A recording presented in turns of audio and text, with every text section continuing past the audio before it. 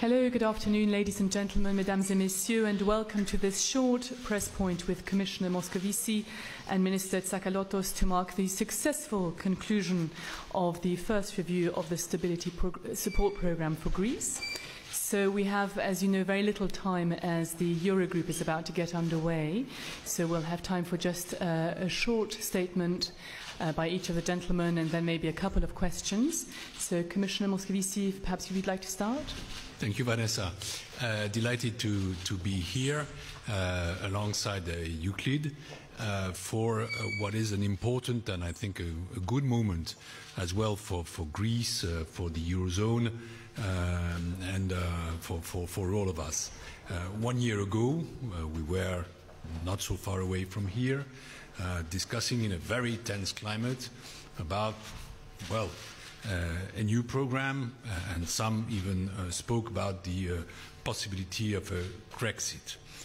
Less one year after, um, a lot of work in the last way has been really done and uh, huge progress uh, have been achieved.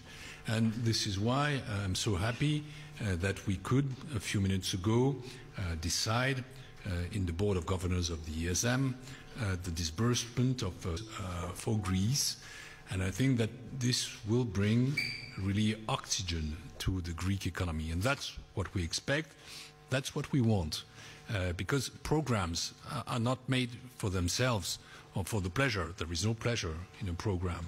Uh, they are made in order to create the conditions for uh, this economy to be competitive and for Greece to be a strong member uh, of uh, the Eurozone and to stay there uh, in a reformed way and as a stronger economy.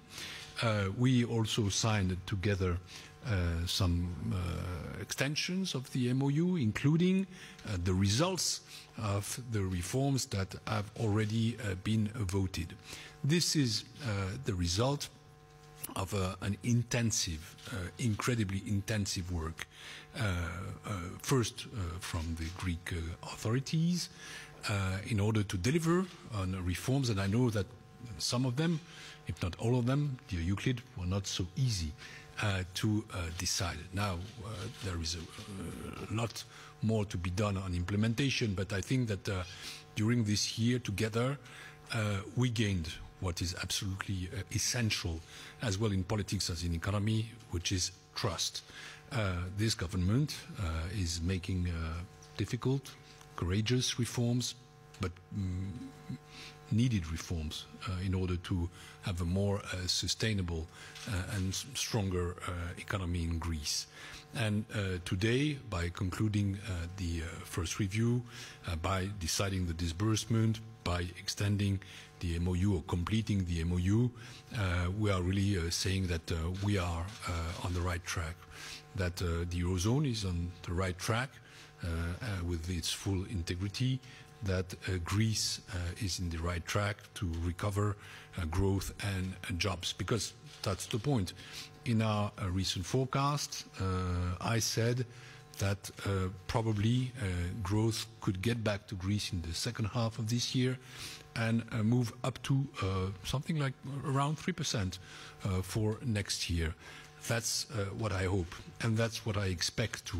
But it was very important that we uh, could be uh, capable of concluding the review, moving on in the program, showing that it is a success. I want to congratulate the Greek government, the Greek authorities, and, and, and, the Greek people as well for the efforts made but also uh, for the uh, results uh, already obtained.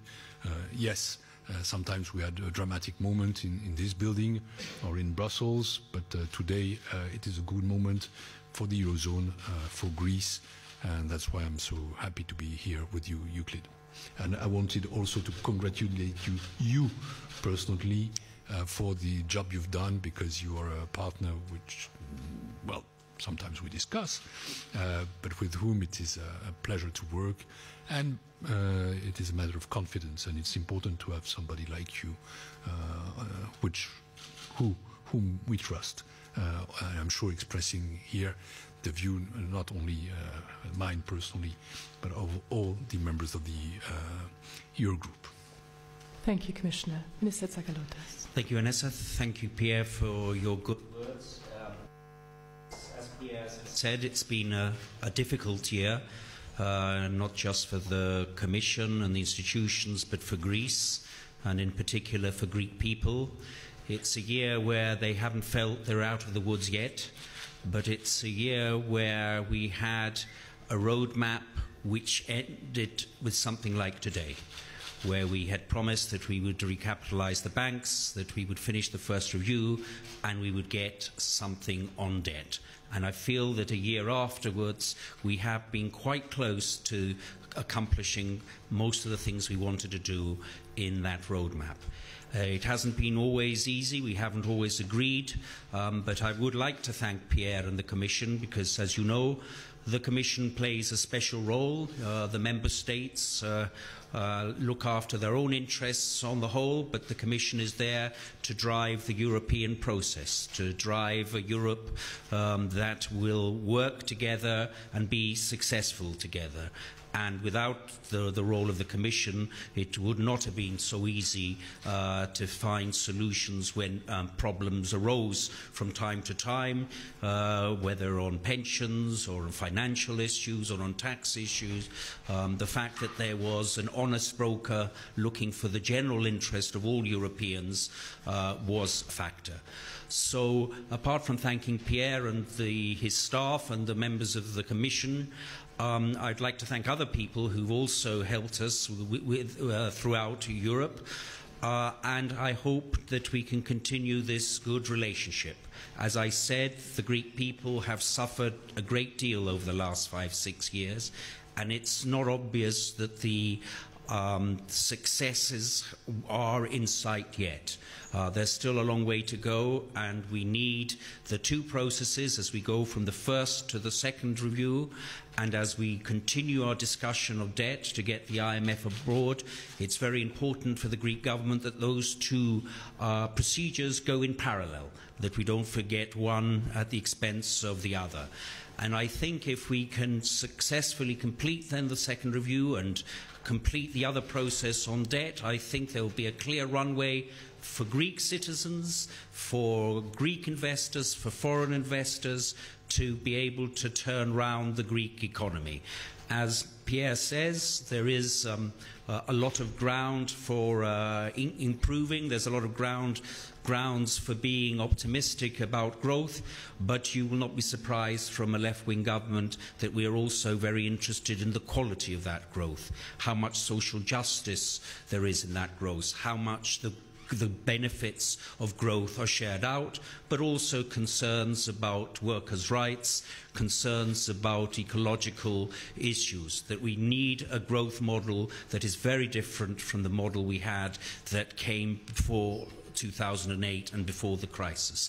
And I think we will look forward to discuss with our partners and the Commission to ensure that there is a growth model this time round that is sustainable, that is just, that is uh, favourable to the environment and uh, respects the rights of all citizens. Thank you very much.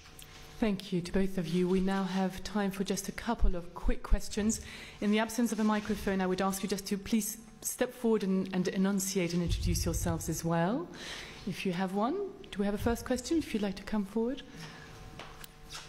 Oh, yeah, well, you can, you, you can come here. Why don't you just come here? Come here. Is the question in French for the Euh, Fernanda Gabriel de RTP, euh, vous avez parlé de l'oxygène que la Grèce a eu euh, pour faire ses réformes et que cette aide, c'est encore un bord d'oxygène. Je voulais vous demander si vous pensez que cette discussion sur les sanctions au Portugal, ça n'empêche pas non plus le Portugal d'avoir ce bol d'oxygène que vous parlez sur la Grèce. We are not talking about Portugal today. We are just uh, Uh, speaking about the uh, conclusion of the first review and, uh, and the disbursement, uh, which is much welcome, uh, I would say that generally speaking, the Commission, as Euclid says, wants to be the defender of the general interest in Europe, and that we are there, of course, to apply rules but to uh, also make sure that